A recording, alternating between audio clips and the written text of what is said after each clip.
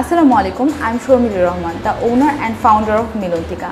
আজকে আমি এসেছি আমার এবং মিলন্তিকার গল্প নিয়ে ডি প্রোডাকশনের সাথে। চোখ রাখুন ডি প্রোডাকশনের ফেসবুক পেজ এবং ইউটিউব চ্যানেলে